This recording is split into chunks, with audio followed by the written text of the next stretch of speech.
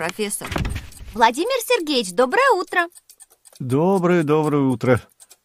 Петя, а почему ты такой невеселый? Что-то случилось? На Петю в школе напал одноклассник. Хотя он сам говорит, что не нападал, а просто толкнул. Да ладно, мне совсем не больно. Но почему он это сделал? Говорит, что это я сам виноват. Мол, я не оставил ему другого выбора. Как это так?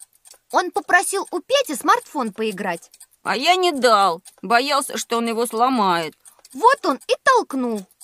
Может, действительно, это я сам виноват. Твой одноклассник, Петя, поступил неправильно. Как говорил Сюнь-Цзи, дурные качества и поступки человека зависят от него самого, так что твоей вины в этом нет, Петя. А кто такой Сюнь-Цзы? Один мудрец, живший в древнем Китае. И теперь весь класс отвернулся от этого мальчика. Никто не хочет с ним больше дружить. Ой, смотрите, я получил от него сообщение. Какое? Он тебе угрожает? Нет, он пишет, что совершил ошибку, ему очень жаль, что так вышло. Он не хотел меня обижать. А теперь он один, и с ним никто не разговаривает. Как сказал Конфуций, другой китайский мудрец, когда, совершив ошибку, не исправил ее, это и называется совершить ошибку. Но как ее исправить? Извиниться, разумеется. И если Петя его простит... Конечно, я его прощаю. Он, в общем-то, хороший парень. Ой, он прислал новое сообщение. Он просит прощения и пишет, что сделает это еще раз, только уже перед всем классом, чтобы никто не думал, что он такой хулиган. Я напишу ему, что я его прощаю. Владимир Сергеевич, вы уже несколько раз упомянули древнекитайских мудрецов. А что это за древний Китай такой? Китайская цивилизация — одна из древнейших в мире. Ее возраст более трех с половиной тысяч лет.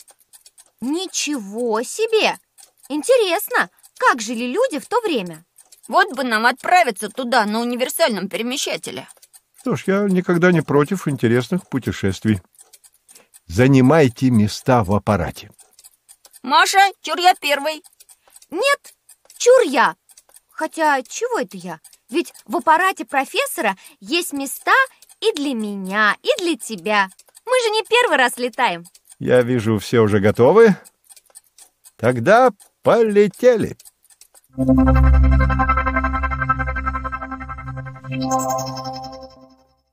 Провинция Шанси, Китай.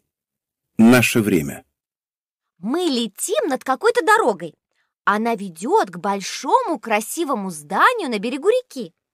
Это мавзолей Хуанди, место, где по легенде захоронен Желтый император.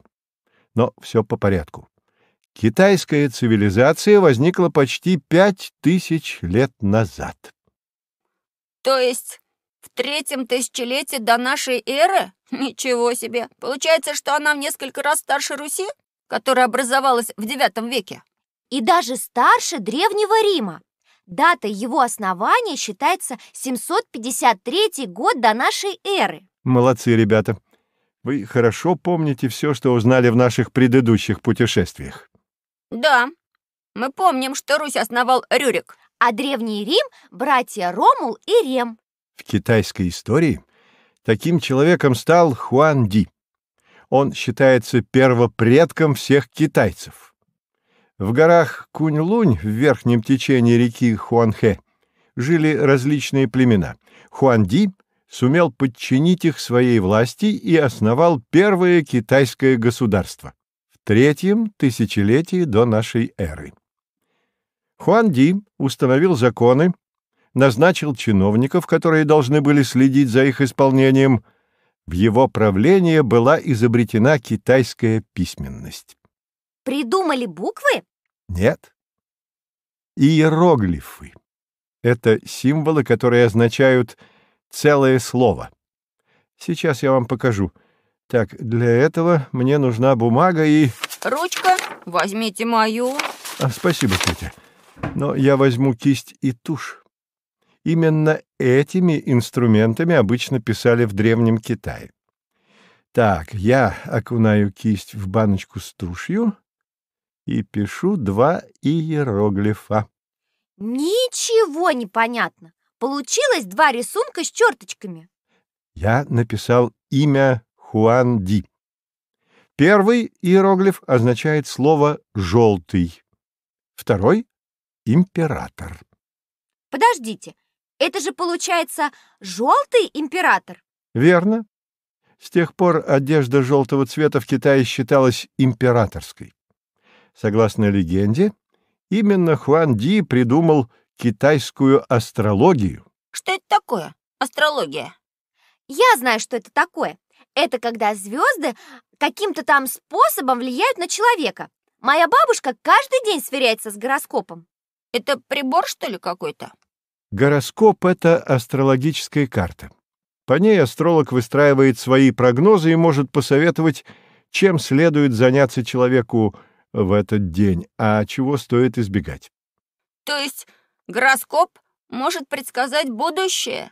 Современная наука отрицает воздействие небесных тел на жизнь человека, но в древности к таким предсказаниям относились очень серьезно. Согласно китайскому гороскопу, время имеет 12-летний цикл. Каждый год соответствует зодиакальному животному. Собственно, слово «зодиак» и обозначает круг из животных. Зодиакальное животное? А, так вот почему говорят год тигра или год быка. Верно, Петя. Цикл начинается с крысы. Дальше идут бык, тигр, кролик, дракон, змея, лошадь, коза, обезьяна, петух, собака и кабан. Потом цикл повторяется. По мнению астрологов, у каждого зодиакального животного есть своя стихия. Она может помочь или навредить человеку, поэтому перед тем, как принять какое-то важное решение, древние китайцы всегда сверялись с гороскопом. Владимир Сергеевич, а на чем писали в Древнем Китае? На бумаге, на чем же еще?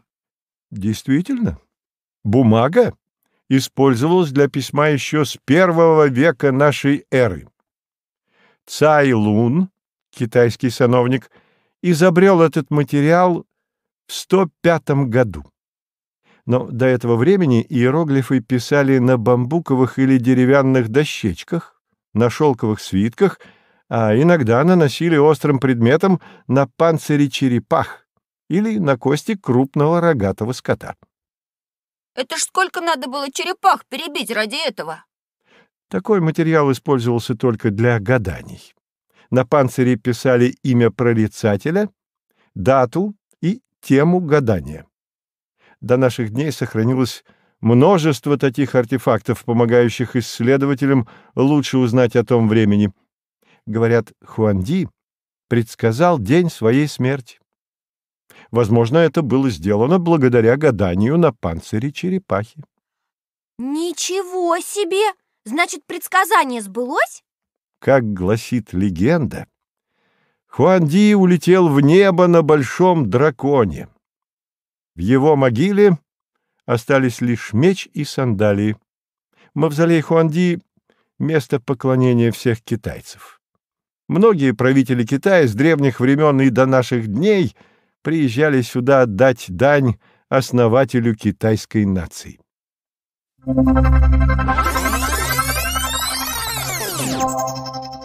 Река Хуанхэ.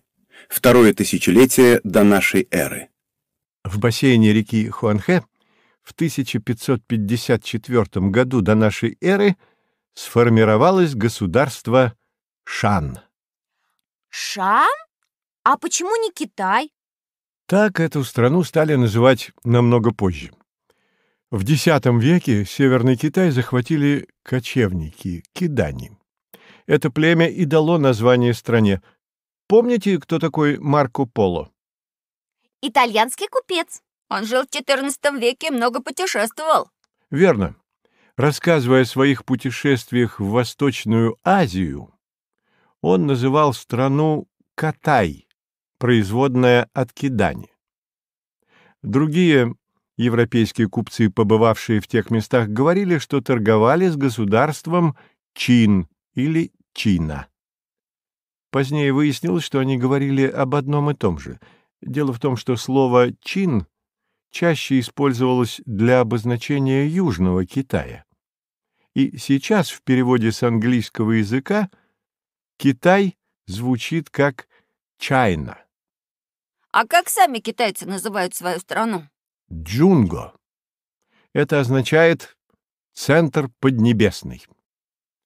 Вся территория, куда распространялась власть императора, называлась Поднебесной, а властитель страны считался сыном неба или сыном Бога. Правитель обладал так называемым небесным мандатом, подтверждающим его власть на земле.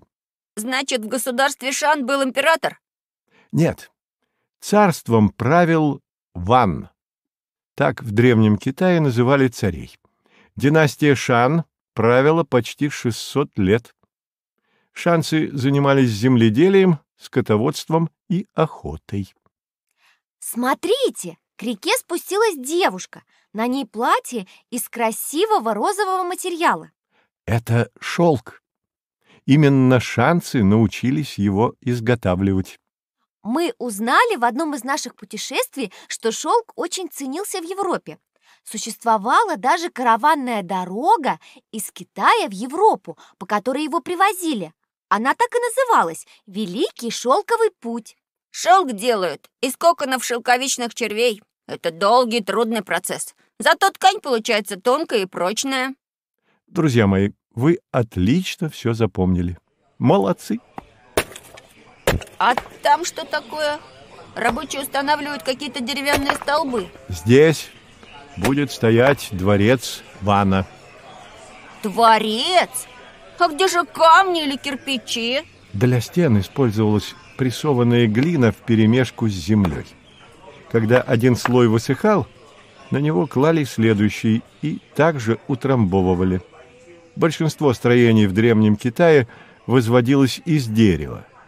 Сначала в землю вкапывали столбы, сверху их соединяли балками, на них ставили кровлю и покрывали ее черепицей. Значит, стены клали уже после. Правильно, Петя. В древности китайцы широко применяли поточный метод строительства. Что это значит? Процесс делился на короткие операции. Например, одни рабочие готовили столбы, другие — балки для кровли, третьи выкапывали ямы и так далее. В результате здание возводилось в рекордно короткие сроки.